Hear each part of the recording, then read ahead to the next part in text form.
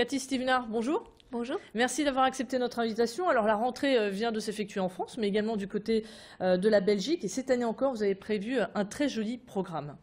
Oui, qui a démarré en force avec un festival et rencontres inattendues fin du mois, qui a vraiment rassemblé 8000 personnes. Donc c'était un gros, gros festival de rencontres musique et philosophie. Donc c'était notre premier temps fort, mais maintenant commence la suite de la saison et qui est aussi marqué par un tas de temps forts, des festivals. Euh, euh, contemporain avec le Next Festival fin, décembre, fin, non, novembre, novembre.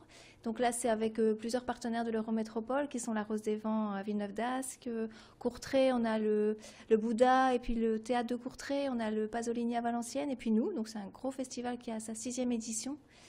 Et donc là, on est plus en contemporain, théâtre, danse. Et euh, sinon, en festival, on a du jazz en festival, on a un festival de cinéma avec le complexe Imagix aussi, qui est à sa quatrième édition, je pense, le Ramdam Festival. Et euh, on a des choses un peu plus euh, mineures, mais qui sont importantes pour nous, qui est euh, dans le cadre de la langue française en fait. Donc on a un événement dans ce cadre-là aussi.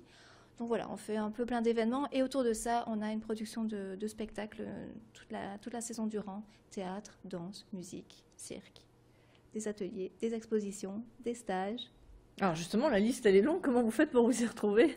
Ben voilà, là, j'ai mis en route la machine qui explique les choses, mais on essaie de de, bah, de privilégier notre saison, nous, la Maison de la Culture, mais on se... Vous êtes toute seule à gérer tout ça, tout, le planning?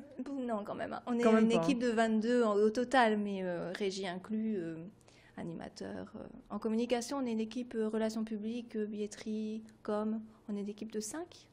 Et vous en mêlez pas trop les pinceaux parce qu'il y a de la danse, il y a du théâtre, des expositions, du cinéma? Parce que c'est le calendrier, les deadlines, tout ça qui est difficile à, gérer, mais on s'y fait. On n'est pas, on n'est pas novateur sur le terrain, donc euh, on a une maison qui, est née en 68, donc qui a grandi et qui grandit très fort et qui euh, s'appuie sur des partenariats euh, nombreux avec le, Prato, à Lille, avec la, Rose des Vents. Toujours, on a eu un premier on a des premiers échanges ensemble et puis grâce au Next, on continue notre partenariat, donc on se connaît bien. Ce sont euh, d'anciens partenariats Oui. Comment faites-vous justement pour euh, le cultiver, euh, ce partenariat-là On a des programmes Interreg déjà qui nous stimulent, donc c'est les programmes européens qui nous donnent des fonds, des aides.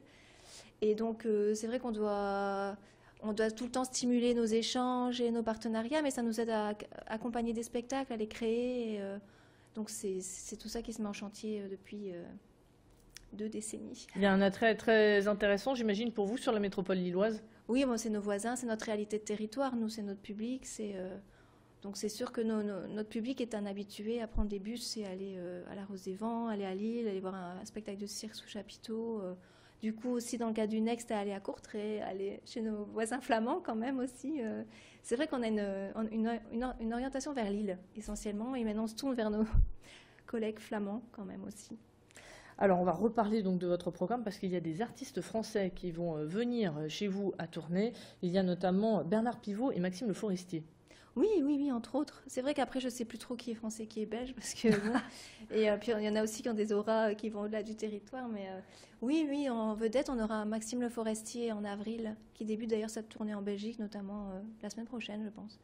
Mais oui, on aura lui, donc c'est la grosse pointure du, de la saison. Mais on a aussi en musique Albin de la Simone, et donc ça, on est assez content de l'accueillir parce qu'il a fait ses études à Saint-Luc à Tournai, donc c'est un, gars qui connaît bien la région et qui, euh, qui, je sais, est déjà venu à la Maison de la Culture, il nous connaît. Donc, euh, Est-ce que vous êtes aussi un tremplin, comme euh, beaucoup de, scènes ici sur la métropole lilloise, des tremplins pour des talents? Mm. Et si oui, est-ce que vous avez des talents venant du nord et de la métropole lilloise? Précisément pas forcément marqué cette saison, mais oui, bien sûr, on les accompagne dans le cadre de nos partenariats, dans le cadre de compagnies euh, lilloises euh, qui sont en cirque notamment, on les accompagne de près. Mais c'est vrai que là, je pense euh, à des noms qui résonnent sur le territoire français aussi, qui est par exemple Fabrice Murgia, qui est un créateur liégeois, mais qui monte de manière fulgurante en théâtre. C'est vraiment un concepteur de spectacle assez magistral, très inspiré de Pomera et qui sera d'ailleurs euh, pressenti pour participer au Festival d'Avignon euh, dans le festival In. Donc c'est vraiment un, chouette partenariat avec lui parce qu'on l'a accompagné depuis ses débuts et ça c'est un, gros coup de cœur pour nous, Fabrice. Euh, et on est content de le voir grandir comme ça et travailler avec le théâtre du. Enfin bref, il était dans le cadre du Next Festival déjà. Il a créé au, Next, il a été présenté dans le, programme du Next encore l'année dernière. Il sera encore chez nous cette saison. Et puis il sera au Festival d'Avignon. Il a déjà été, mais là il y sera. Il va créer carrément un spectacle pour là-bas. Donc c'est un, gros morceau et qu'on soutient depuis le début. Donc c'est pour ça qu'on est très, très proche de ces, productions. Après c'est vrai qu'on on aime bien euh, Rachid Boali, qu'on a déjà accueilli plusieurs fois chez nous et qui est vraiment un, personnage hyper intéressant et très, euh, très tendre aussi dans ses pièces, dans, ce qu'il est et puis dans ce qu'il raconte. Donc ça, on est vraiment très content de, de soutenir aussi. Et les productions du Prato, évidemment, Gilles Defa, qu'est-ce qu'il, euh, ses créations. Et il y en aura une fin de, fin de l'année avec euh, Soirée de Gala qui va proposer au théâtre de Lille, si je ne me trompe pas.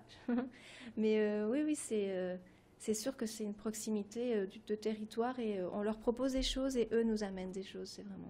Merci beaucoup, Cathy. Stevener, on peut peut-être rappeler le site internet sur lequel on peut voir le programme Oui, oui, complet sur trois fois www.maisonculturetournée.com. On aura une application aussi à sortir dès, euh, apparaître dès le mois d'octobre qui reprendra aussi euh, la régularité de la saison et les nouveautés euh, qui apparaîtraient entre, entre deux, s'il y en a encore. Merci beaucoup Cathy Merci pour toutes ces précisions. Je rappelle que vous êtes la chargée de relations presse à la Maison de la Culture de Tournai.